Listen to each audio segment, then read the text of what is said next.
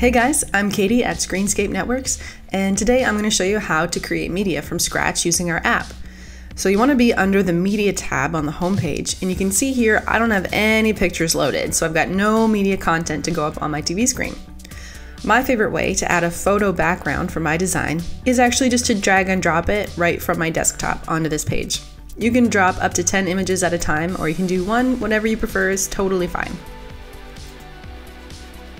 And just like that, the photo that I picked is now uploaded and ready to be customized. So what you want to do to be able to customize this design is you can either double click right here on the image itself or click once to select it and head over to this pencil icon.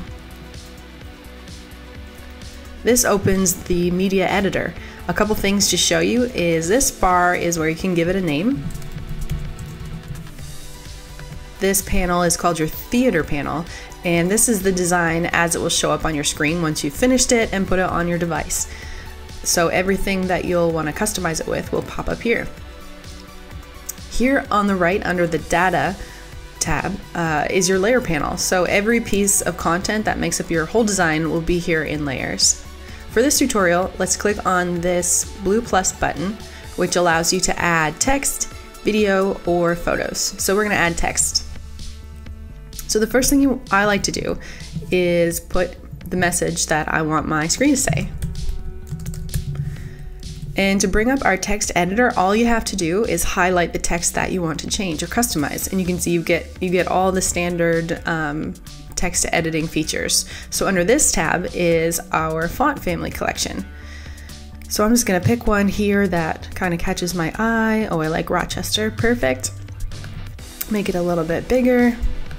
Great, and you can also change the color of the text here or the background highlight of the text. I kind of like the white, so I'll just leave it like that.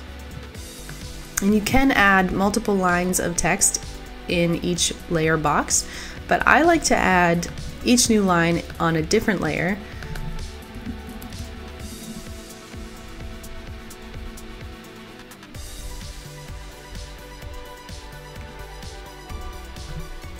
And that's because if it's on a different layer, you can grab it and you can move it around. You can totally customize where it goes.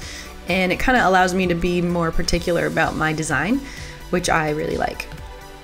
Another rule of thumb that I like to go by is to never use more than two, maybe three maximum font types in one design. If you have more than three for sure, it starts to look kind of cluttered and messy, and you want people to look at your screen and get the message pretty quickly.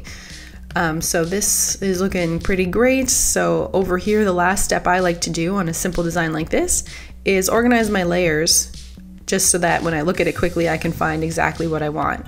Just a little bit of housekeeping tips. So to recap, we've named our design, we have uploaded the photo that we want for the background, and we've added our text right there. Um, so now all that's left to do is to click save.